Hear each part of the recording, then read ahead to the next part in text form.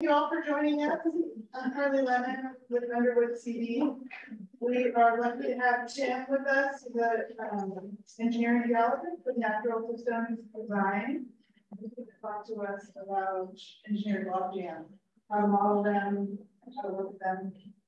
I'll let you take it away, Jim. Okay, thanks so much.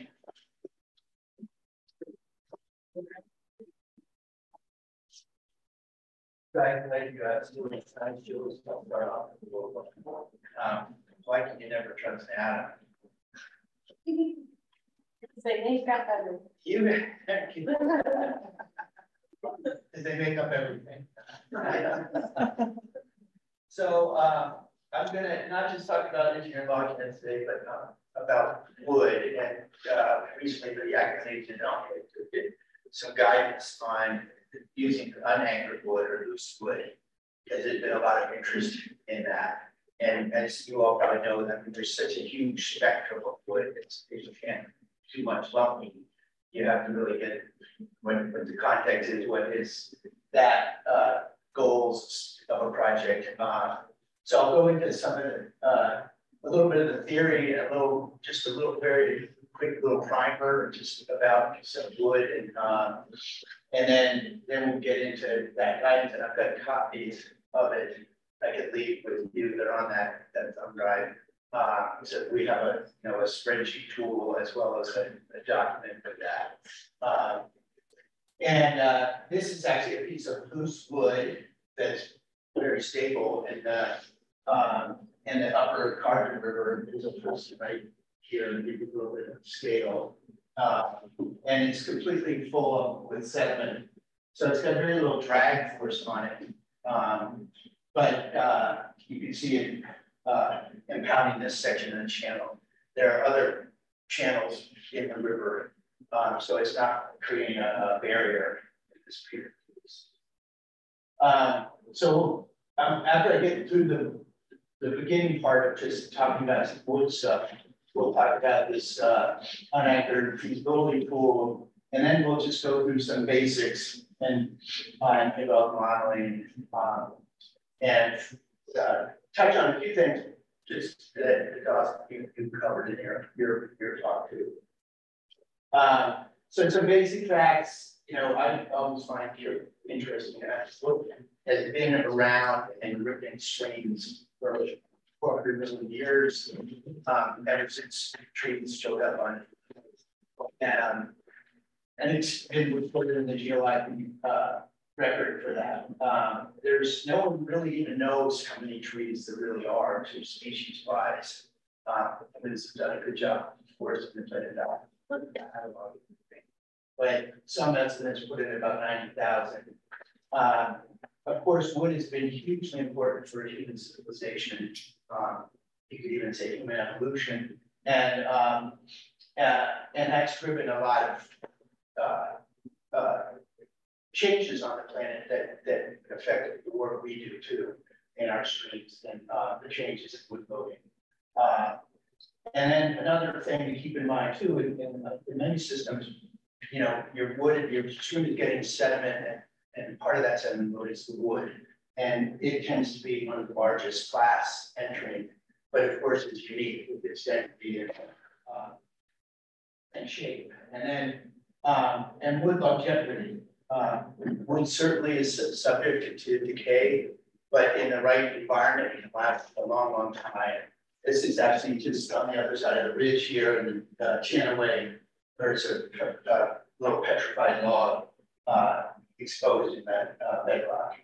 Uh, this is a very log jam we'll come back to in another uh, uh, or later in the talk. So um, as you all know, wood creates a lot of distinct uh, features in rivers, um, cover for adults, um, to cover for juveniles, um, to mammals, bats, birds, all sorts of uh, creatures can utilize that log jam. Um, and then all the habitat that it's created uh, associated with it. And then this is a, a, a nice picture we did a, where we had did some log jams and a, it was a plane bed boulder beach. And then uh, uh, after Los Angeles and created a couple nice pools outside of Eatonville, and then it became a really popular place for uh, summertime swimming. And uh, they local locals would even use the piles to post posters for parties or, or music events.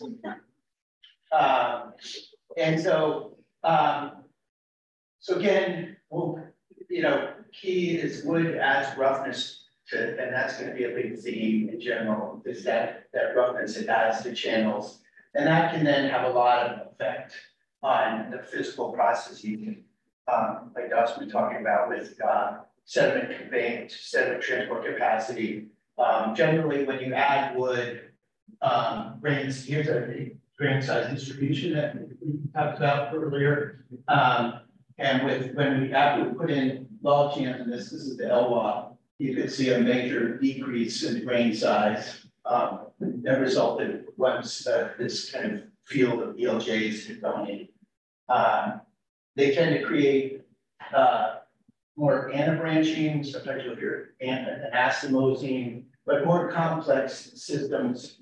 Um, and they, it can make things like bankfull more complicated too, because the wood is affecting water levels. Um, and uh, and one thing, when you're out in, in environments, if you see kind of multiple floodplain surfaces, it may be a it may be a clue that there was uh, a wood dominated system at one point, or may still be. Uh, and uh, because it's again, well, some of the, the channels will, will move and the effect of the wood will either increase or decrease um, over time. So this is um, one of my colleagues when I was in uh, at UW and uh, doing my graduate work, um, John Buffington's work. John has done a lot of great work on uh, sediment transport and, and wood. This is just a couple of his figures um, uh, that really kind of sum up things, you know, where you have more wood, you have more topographic or bathymetric complexity, you have a lot more grain size variation. These are patches of different grain sizes. And then a system without much wood is just a much simpler system. Uh, and again, just the scale of things wood can affect uh, things at, at, even the microscopic level um, of your invertebrates and all the uh, uh, conditions that go on when you start to create these very porous uh, mediums, um, especially when you have big accumulations of wood, um, to then affecting bed forms and then uh, and then in some cases affecting the form of your rivers. Um, usually I do this one without giving the answers, but um, another, another theme is we've changed the, the tree and riparian populations of our rivers. Um, and there used to be a lot more big trees just like there used to be a lot more big fish to catch. Uh, and um, and this this is uh, one that's usually a stumper. This is a American sycamore back in Indiana, um, and they were real prominent uh, source of snags and wood in the Mississippi Missouri system, uh, and bald cypress. So very um, that that change has affected what's going on in the river's home talk a little bit more. Um, again, a couple more examples. Some of the big ponderosa near Bend, Oregon, um, big red cedar in Willapa. There was actually a red cedar. We have a 1906 account in the lower Elwha um, from a government survey that was 27 feet in diameter, which is just a couple of feet shy of uh, giants, the, the, the general giants call that. Um, so big, most of our big trees are gone. Um, here was when I, some of my old field work, it's just an example of a recently recruited Sitka spruce in the Queets River. Uh, so um, one thing that we have found out too in the last few decades, and there were some examples I uh, have, you know, have an old map made by an army surveyor back in the 1800s who recognized that wooded banks or forested banks erode more slowly than uh, unforested banks. And we have more data on that, and some, so there's a couple of publications. This one, they looked at, at the Sacramento, and here's channel migration rate over time, but there's two, these two different populations. Um, well, yeah.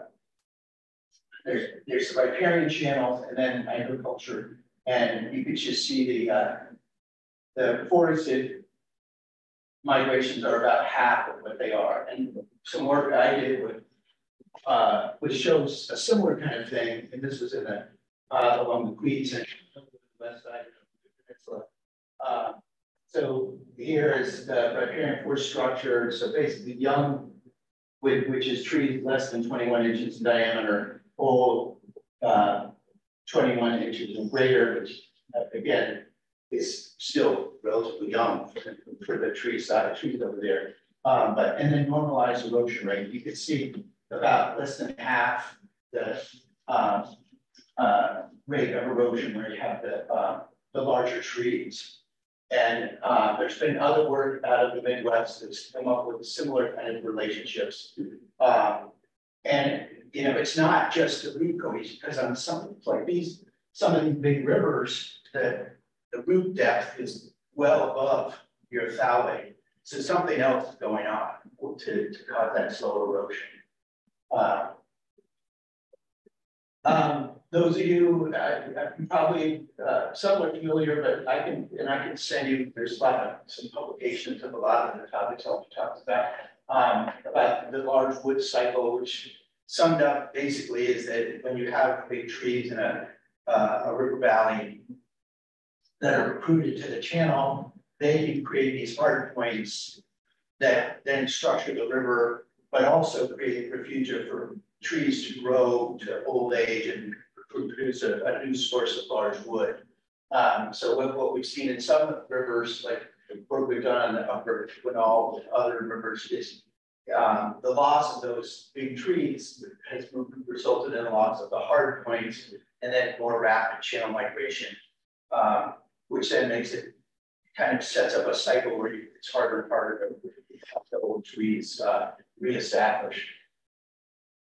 Okay, so as I kind of alluded to, that their size and shape of wood is really important. And this is going to be super important when you're talking about putting loose wood in a river. Uh, and uh, so you, you start with just basics of looking at, um, and again, I've got some publications as well as uh, uh, there's, I'll refer to, we put a bunch of this into the National Wood Manual.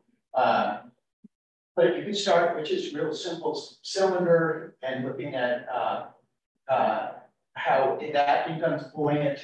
Uh, so if you just had a cut log, the most buoyant shape is actually a stump because you're getting a lot of displacement rapidly with depth. Um, so there's been, I think, in our industry that some confusion or um, not sure how to describe it with root wads, like why are you using group? So hopefully this will, will create some more clarity. Um, and why you use lot, because they're they are more expensive and more destructive to get root wads if you're sourcing them. So it's like, well, let's make sure we're using them in a, in a uh, uh, the most efficient way. Um, so one thing root wad does actually is it elevates the center mass of your tree. So that means it's going to take a lot more water depth to submerge that before it can become mobile. So, um, so that's a big factor there. Where, whereas if you know just had a, the same log that was cut off, uh, it's going to go buoyant a lot sooner than when it has this uh, this root line picking up the, the center mass. And you can go through and figure out the center mass and volume and I've got some spreadsheets too that can, can do this for you all. You're interested. But the other thing it does is it changes the uh, some of the statics of your, you know, your your basically your normal force. You're creating a smaller area where you've got a large weight of uh, tree pressed down into your channel. Um, so it's it's that's creating more resistance um, to drag, and then it also creates a flow separation, which I'll talk about in the next figure here, where sediment can start to accumulate. And then that really starts to change the, the force balance of your, your system. So again, and you know, different species. It's not just cut logs versus root logs, but the taper of a tree can affect uh, all this. Um, this was just some experiments I did when we had a, a skidder out on a site and we dragged and looked at what, you know, the initial force uh, for related for incipient motion of the log was. And then this is the, the plow length is basically this uh, depth below the, the, your bowl of your log. Um, and, and the log length, and just you can see this is log log plot, but it's taking a greater, um, the more that length uh, increases, the, the more of a, a is to initiate movement of fluid. So then, as I was saying, it, it, when you create a, this is, a, a root wad also creates a bluff body. And wads usually, but not always, but usually go up, going upstream. And you could think of a bluff body, a raindrop is the same thing. A raindrop's coming with its big end into the flow, essentially, the airflow. Um, and so this will be the more stable configuration of the bodies, have that, that root upstream. Um, and when it, and then it starts to create this flow separation envelope where sediment can start to accumulate. Um, it's obviously really important for fish too, um, by creating this uh, place, uh, an eddy for the fish. And often they love hanging out right at that, that flow split. Um, so that, um, again, then you can, you know, there's looking at the hydraulics and now with the, prevalence of 2D modulated, you can start to do this. And in the latest HEC-RAS, there's even a, a, tool for putting in a um, 3D, well, well 2D um, uh, into the, the, your mesh. Uh, so once it starts to dig itself in to the bed, that's when they become remarkably stable. Um, so one of the key questions is, will it dig itself in? So obviously, if you're just putting it in on bedrock, that's going to be unlikely. Um, and uh, you know, unless again, unless you can show that it's going to still be stable and then trap sediment behind it. Uh, so knowing whether it's going to dig in is going to be another big factor for uh, hey, how comfortable are you just putting in these pieces? Um, this is the plot here of uh, sediment depth leeward or downstream of that root wad, and then the force, um, the blue is the drag force. So just this is just from flow, and you can see that that resisting force, you can predict when it would when it crosses and you start to get more stable. In this particular case, um, we've got about a one meter um, depth of sediment when it starts to cross that that and your force balance is where you get your resisting force is greater than your uh, uh, drag forces. Uh, one thing we're doing a lot more with ELJ or engineered structures is uh, using a pile, using piles of posts. Um, we typically call a cut pile is we were just refer to as a pile. We'll sometimes refer to this kind of uh, situation as a post because if you're going to put in a roof line, you, you're typically going to have to dig that in versus this you could drive in depending on the geographical conditions. And but one thing again, once that root line is, uh, you have something like a root wad bearing that the, resisting forces increase really dramatically compared to just a regular pile, which is really relying only on skin friction.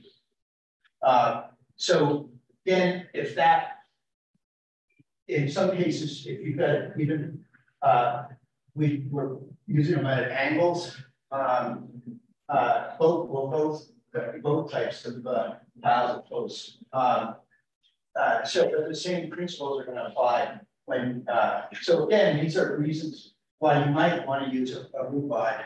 Um, uh, Here's just again, pull out strength, you know, what it takes to pull something out of the ground.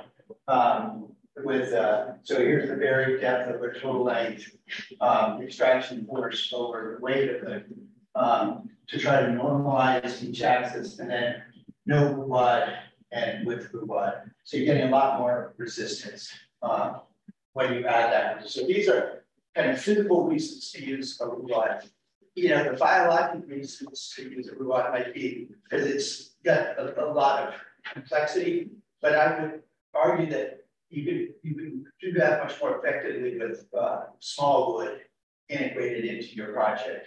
Um, so there is this document I can get you a text on our website too. That it's got uh, it's a big nice back government publications on uh, on a wide range of topics, but there is a chapter on engineering and geomorphology in there that uh, uh, uh, has a lot of good information. And then just briefly touching on wood longevity. Uh, again, I love this quote. This is St. Mark's Cathedral in Venice, Italy. Um, the piles underneath the cathedral there are, are over, we're over that. This was written in 41. So in 41, they were over a thousand years old and in near perfect condition because they were in an anaerobic environment.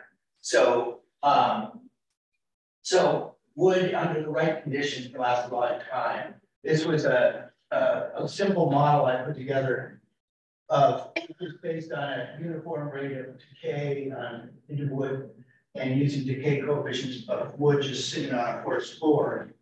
Uh, and then this, these are two different uh, sets of curves.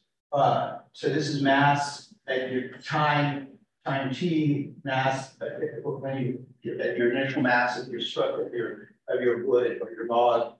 And this is uh, cottonwood curves. This would be uh, cedar curves.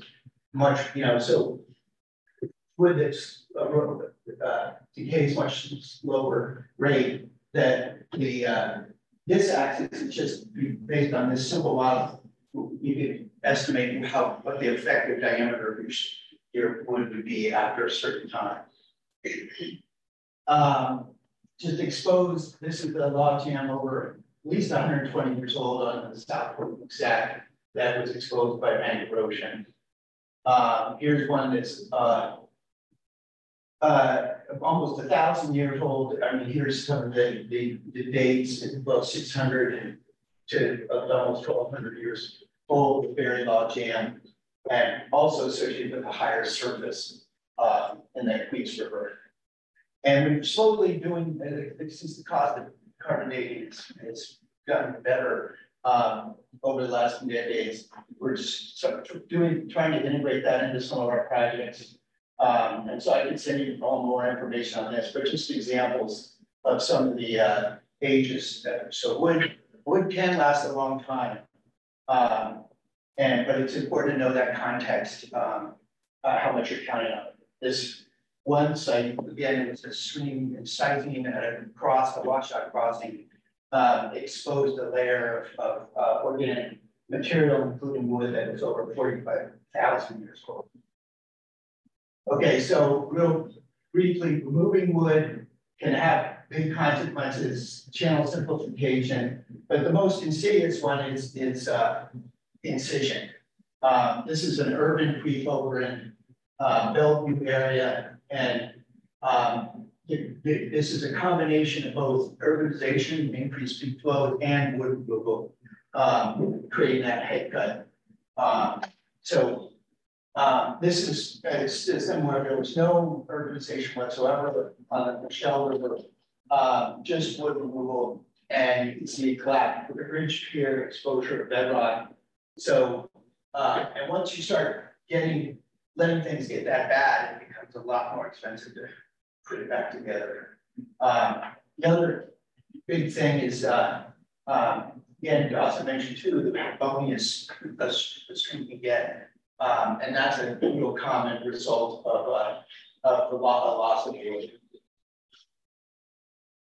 Okay, and then I'll just touch on, and this is some work I've been recently doing and uh, uh, did a presentation at AGU last December, but uh, this is looking at how wood basically partitions roughness and the consequences to fish. Um, And so this is a range of, uh, redd variable depths. This y-axis is, is scour depth. And you can see under existing conditions, um, this is increasing discharge on the x-axis. You can see that it's, uh, under existing conditions, it's scouring, uh, well, with, it's basically, there's very low, would be low survival of eggs in this, in this particular river with, uh, under existing conditions. And then these curves are just, uh, progressively more wood accounting for more stress partitioning. So 10%, 20%, 30%, 40%. So you're basically reducing your scour depth and a reach average with when you're adding wood. And then this is just some results from some hydraulic modeling where we integrated uh, some of this uh, the scour effect. So this is the green would be the hypothetical with wood put back again scour depth. Um, this is discharge and scour depth.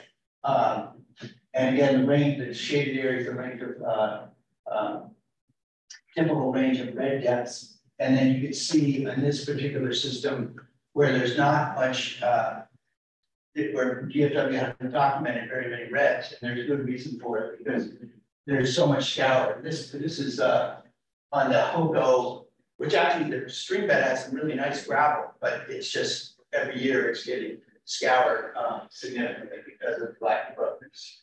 And then this is using some of John Buffington's data. Um, again, estimated scour and this is just progressive amounts of wood, and then this was a new wood density function. I derived this uh, recently on, uh, so we can start to say, well, how much, you know, have some physical criteria for how much wood do you want to put in using this as kind of a criteria of, so again, range of, uh, uh, typical range of, this is log scale, typical range of redd um, and you can see when you get uh, to use this wood function, you can significantly decrease your uh, scour So that's hopefully kind of a cool, tantalizing thing. And uh, if any of you are interested, definitely get uh, hold of. I uh, talk to you more about that. Um, so here we'll get into the finally get into the unanchored wood part of this. Um, so we've got this this is from uh, our little uh, report to the Yakama Nation. Uh, so we've got on the here stream power and relative cost on the x-axis, um, risk here, um, uh, and engineering complexity on the y-axis, um, increasing this way. Uh, and then grain size decreasing um, and size of available wood down there. So in this corner, we've got loose pieces um, that are, you know, not not key piece size. The key piece would be, it's usually referring qualitatively to a piece that's likely to, to, to stabilize by itself in a, uh, a river, or at least move very slowly down the river. Um, key pieces, and then just basically all the way up to, to a, very engineered structure. Uh, so again, more powerful rivers, more uh, engineering complexity, more cost to construct.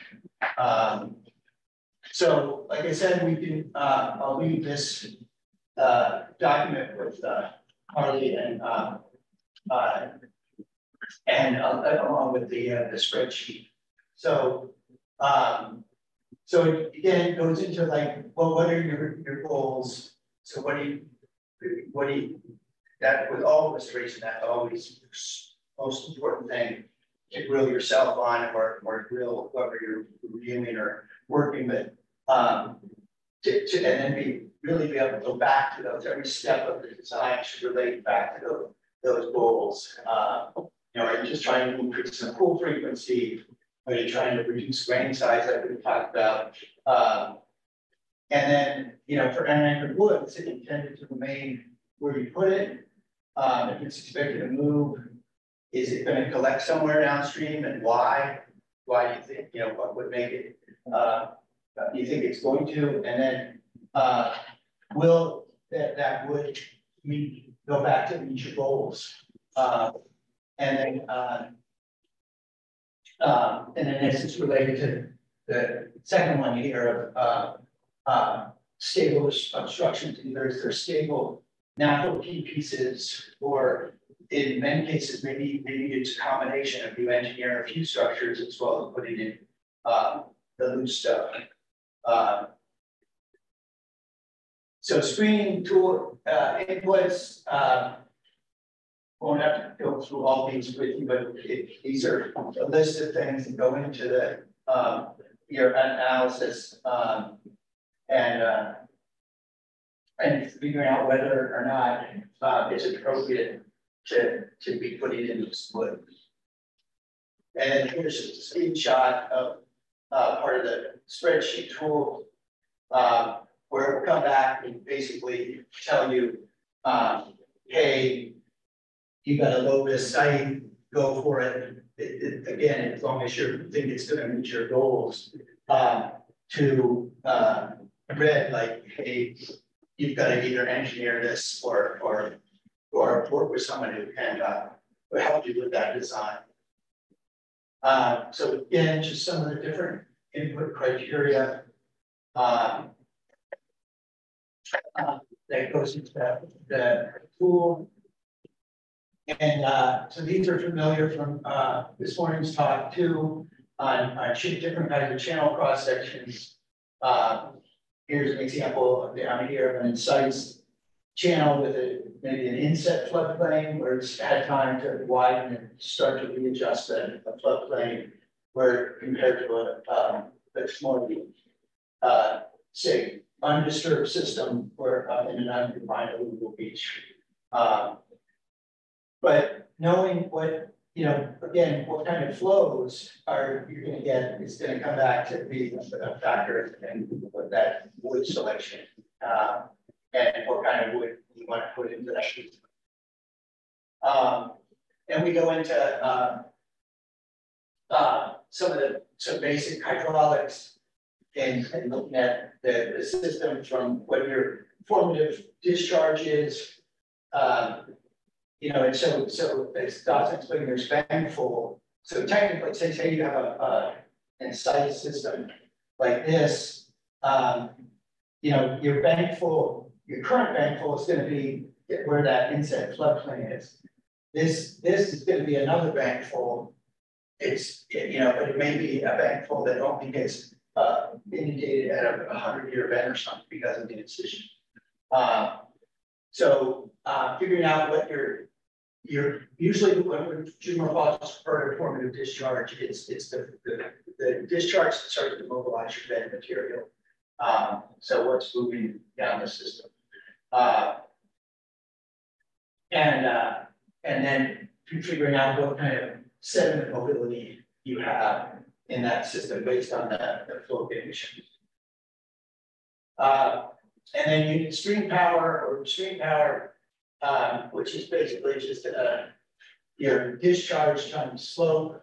And then um, when you, a unit stream power, you're just dividing that by width to get uh, a, a, a, more of a, a term that maybe rarely used to compare. Often this is useful I mean, there are whole sets of sediment transport equations based on stream power, but uh, one, one thing that's really useful with unit stream power is when you're characterizing historic disturbance and whether this has changed uh, uh, significantly through time uh, with the concentration of flow in your channel.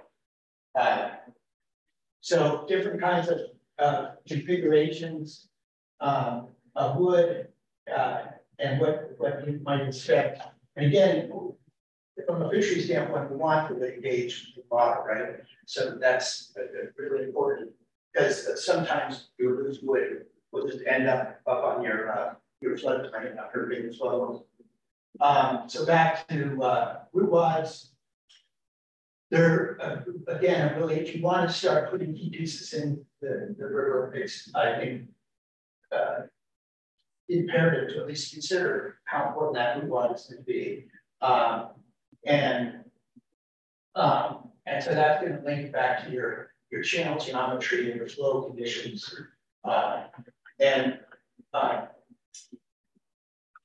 what, and then again, root wads are usually a wide variety of shapes, so we, we discussed that in, uh, uh, in the document on, uh, when, when you're gonna need to do that, so, um, anyway, like that, he's just summarizing in the document, some of the things we talked about earlier on looking at centroids of your, your system, and then, uh, uh, you know, one option might be if you can pre-bury your structure, can that make a difference? And so we, that's definitely an option, whether it's pre-buried and part of it into the bank or whether it's stayed in the, the stream. And then uh, bed and bank material, um, which again is important, you know, when we start to look at, well, when is that mobile, when does the bed mobilize? Because if you could show that your piece of wood is stable at a flow that's starting to mobilize your sediment, that means it's there's a good chance for the wood to dig itself in and give you uh, that benefit. Uh, but if you if your wood is going to be mobile before that bed uh, bed load initiation, then it is likely to uh, not stay very long. So um, guidance again, you gotta what, what your, what's your system currently?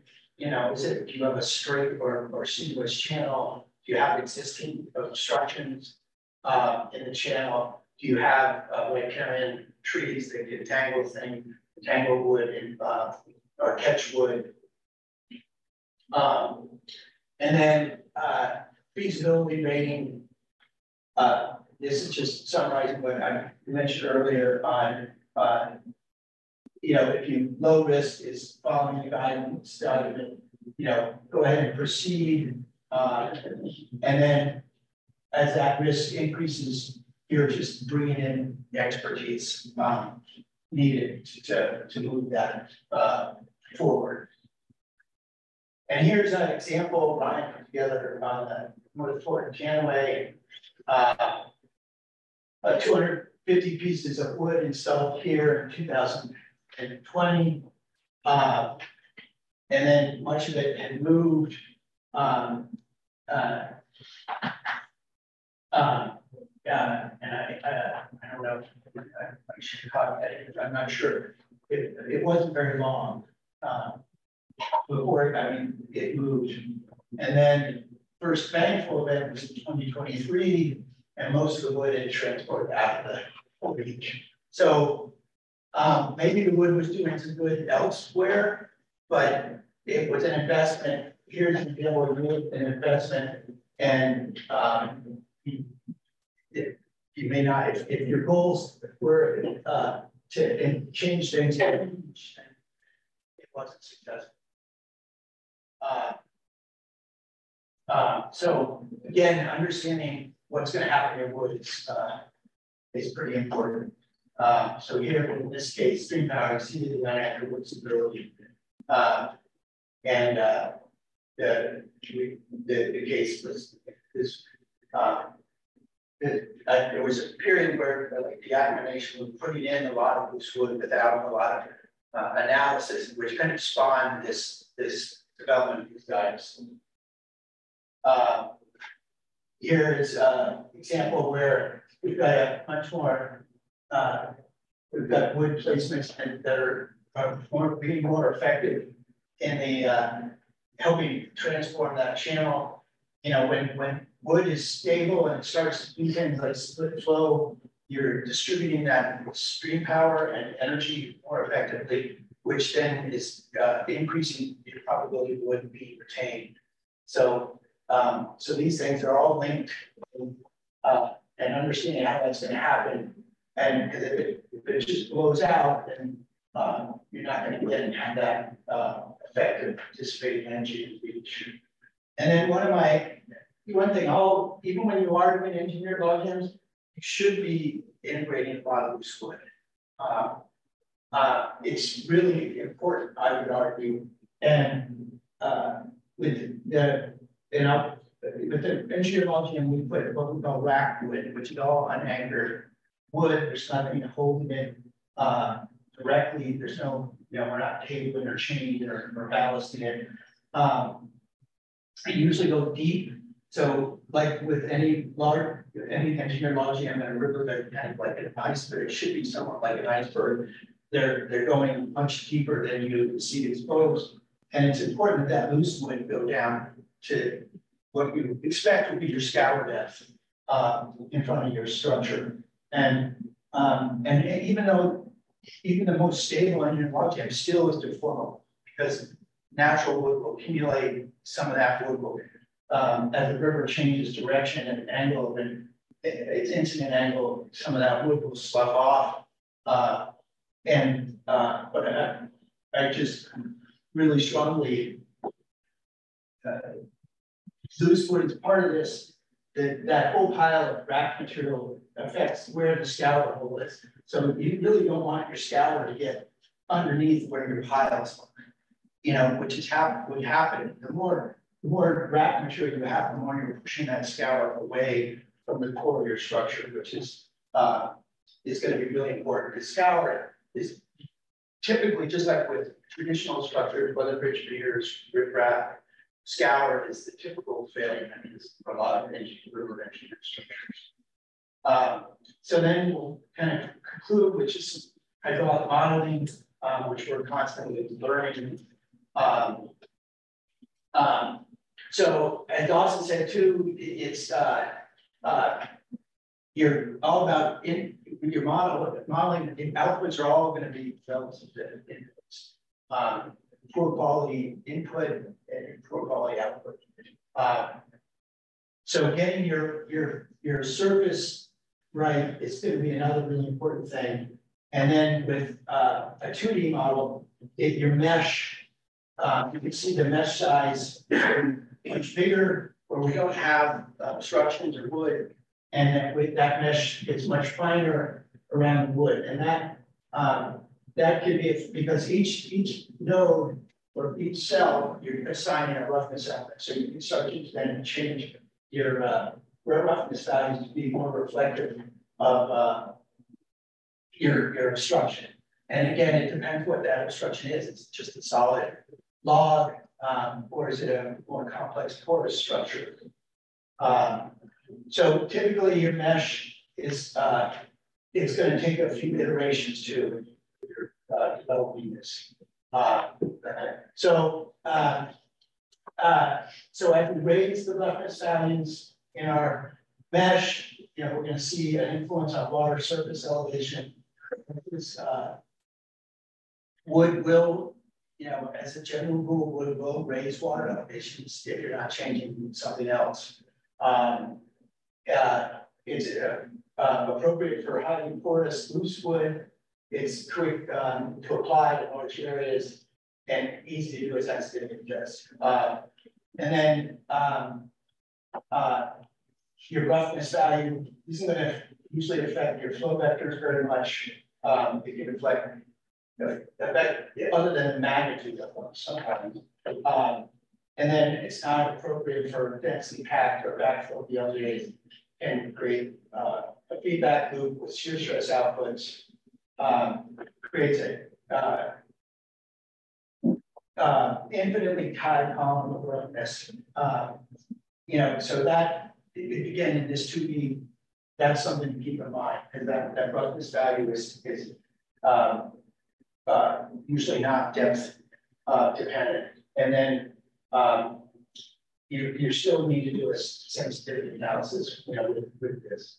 So just some examples of uh, uh, 2D results.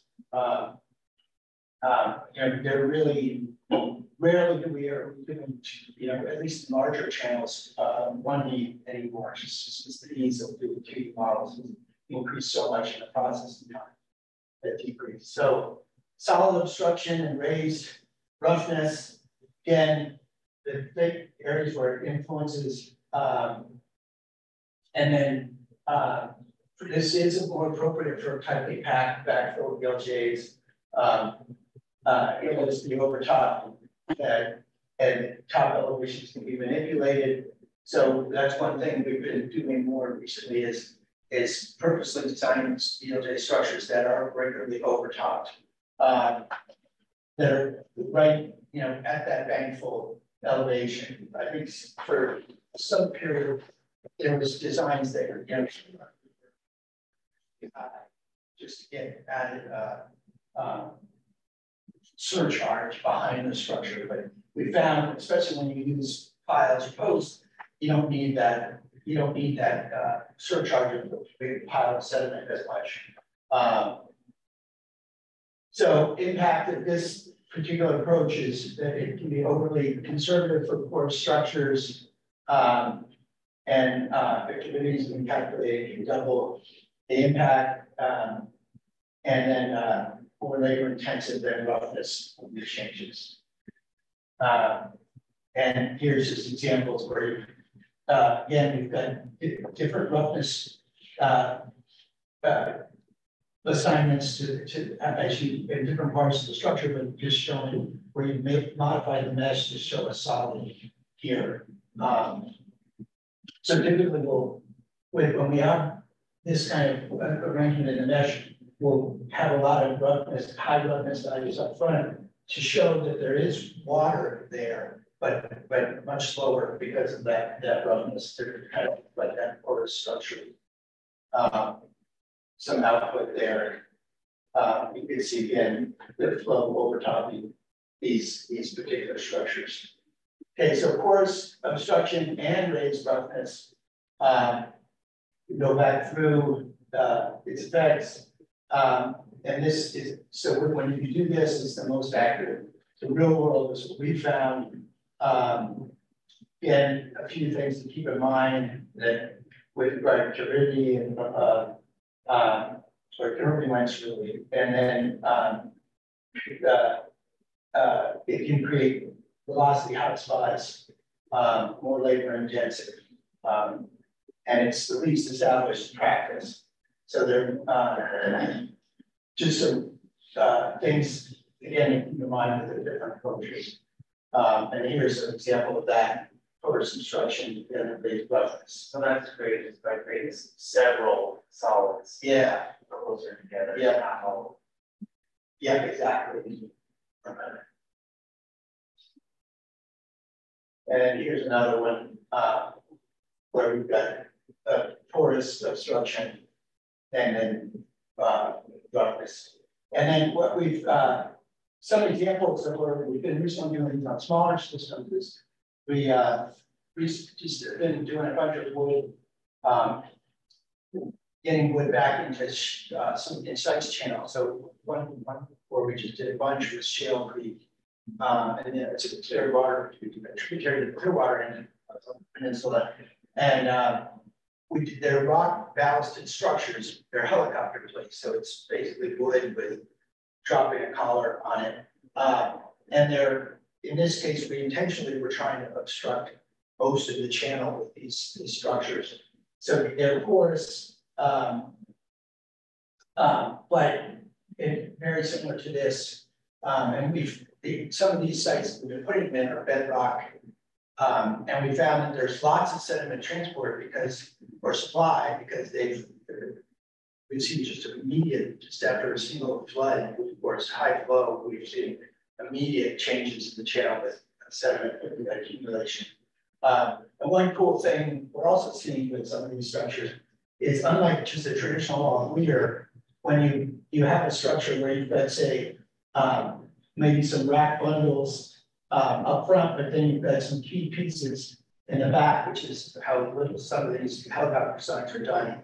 So, so that we ballast those key pieces, um, and then um, and then they're what they're, they're what's holding in place the rack material. But all the roughness, so when water overtops the the front, there's roughness on the downstream side.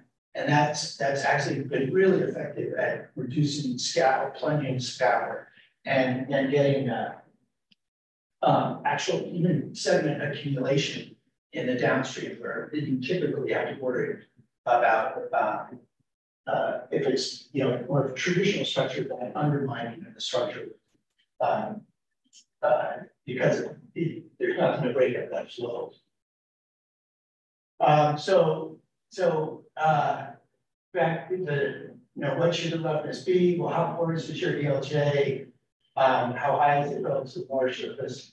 Um, and, uh, are computing turbulence and what, uh, parts of the ELJ are interacting with flow? So, um, with, you know, constantly learning and improving this, uh, Julia put, uh, have put a bunch of these slides together. Um, and then, um, you know, how does the mesh man manifest, uh, topography manifest in the mesh? You know, so knowing where to draw your break lines, um, and uh, how the computations disperse across the mesh, and and is turbulence modeled explicitly. So it's not included in the typical equation sets um, for either RAS or flow 2D, um, but it is in SRH2D. So these are probably the three most common models that are out there that um, we're regularly using. Um, and I think that's it. Um, so there's lots, uh, and love to talk to people about more. And I'm sure you guys have some questions. Have you guys used the, the actual LWD tools in HEC-RAS right now? Is it? We've just started using. Yeah, I actually helped the Corps when they were developing that and the uh, Davis lab. And uh, so we're just starting to, to do that. Uh, it's, it's, yeah, as you know, it's pretty new. Yeah, it's hard to put multiple pieces together. Yeah. And you put one isolated. Yeah, but yeah, I think that's one of the kinks that we'll have to.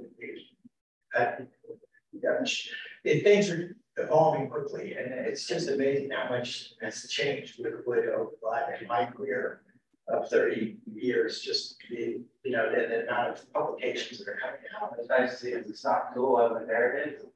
Yeah. I haven't used it yet, but does it have a, a setting to manipulate porosity at all, or is it just a solid object? It's a solid object. Yeah, it looks like a T. Okay, Yeah, it just, yeah, So so all he said the root blood size and the bowl size. okay. Does it, does it attach to your, your terrain, so it modifies your actual terrain, or how does that function? yeah, yeah, yeah.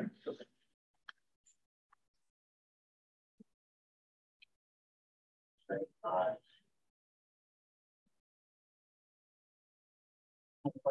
I got a question, um, related to. Uh, you were talking about. Placing large wood, loose large wood, and the potential for it to sink down into your bed. What if you have a situation where you're doing a- an approach, more like a, a stage zero type of approach, or channel filling, where you're taking floodplain material, putting it into your channel? Do you have any recommendations on burying that material versus putting it on the surface? What are you kind of looking at there? Uh, in the- in the low risk setting where you're Right. taking that flow.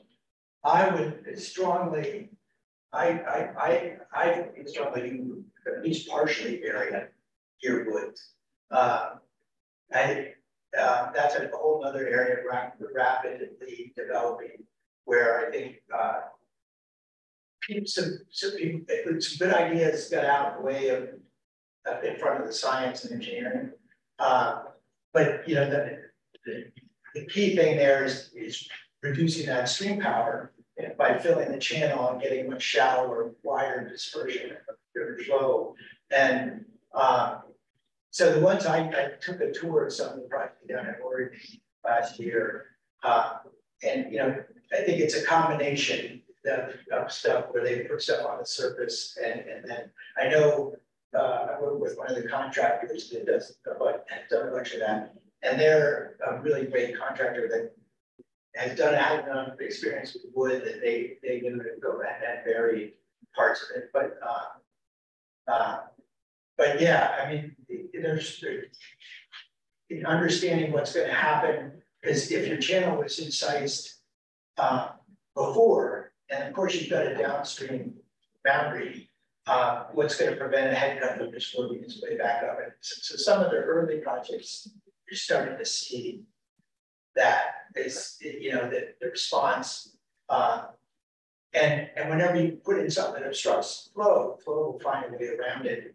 Um, so that's one of the other areas I think that's really fascinating is, is um, like in small channels, if you're obstructing flow and you, you're gonna e- expect some bank erosion, well, that's where you, knowing what your riparian conditions are like, like, because what we're, like on Creek, we saw that exact thing happen where banks started to erode and trees came down, but then because there was the obstruction, stable obstruction in the chip, those trees that normally would have just been washed downstream were sticking around and just enlarging this, the structure. Uh, and in big rivers, we found, uh, you know, it's an array or, or field of ELJs that you really need to, to consider. And, uh, and understanding how close to make those is super important. Because if you, you make them, space them close to your, your kind of natural or un, uh, un, unobstructed rivers bankfull, then you're, what you're gonna get is a, bankfull channel that just goes right in between your ELJs and, and not a lot of uh, effect of your ELJs. So, so you've got to get them close enough that that it, it, you're really constricting. What I my general rule is you want to at least thirty percent of your bankfull uh, would be the uh, to, to you know to really shrink it down because again you're you're going to get flow around those structures um, and uh, so yeah. You may remind me of that. Is there, a what's the silver bullet for the dynamic? Is there one for you? You know, you're doing possible conditions where is there some standards you can put on that agreement? Um, is there, well, channels is definitely my passions. And we, we've been addressing it in a bunch of ways from, from channels that were once what we call a zero order channel, where basically it was all originally under natural conditions, it would have been a subsurface flow, hyporheic flow only, very rare surface flow we've been expressing.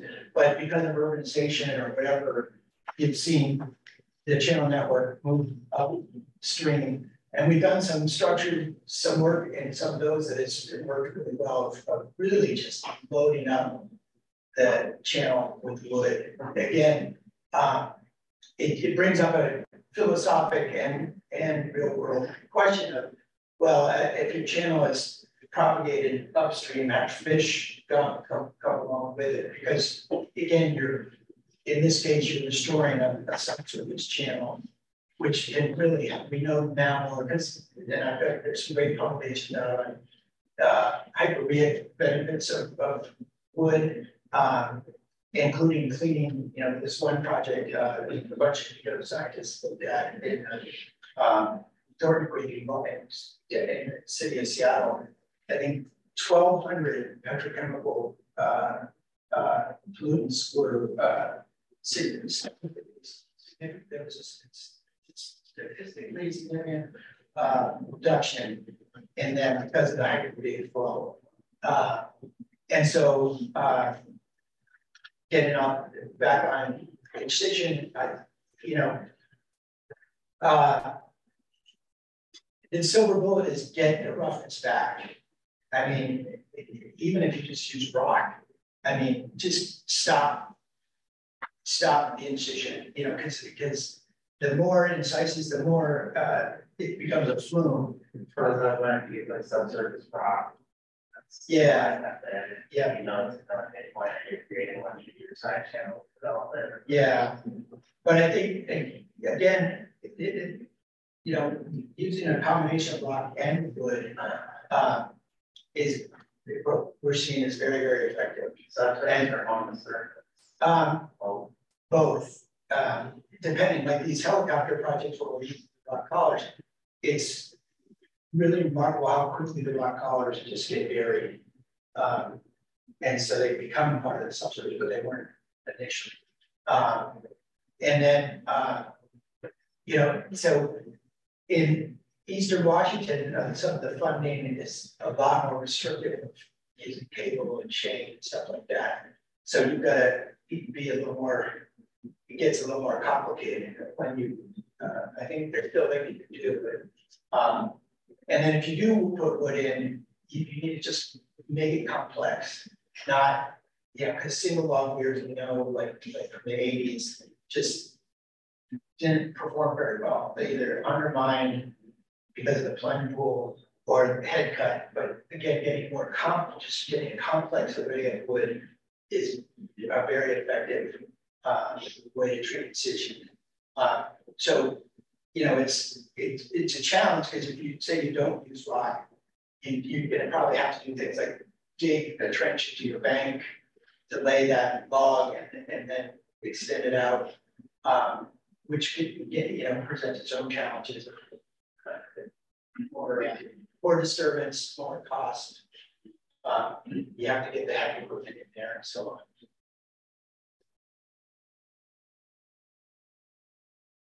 Yeah, so if uh, anybody has questions or would like the, the anchor tool or more about the publications, just uh, yeah, write me uh, or text me or call and uh, um, and we do have on our, our website, we've got an open source page uh, that's got a bunch of publications there. I've, I've got a, quite a library uh, of, of stuff um, on some of these topics, if you are interested.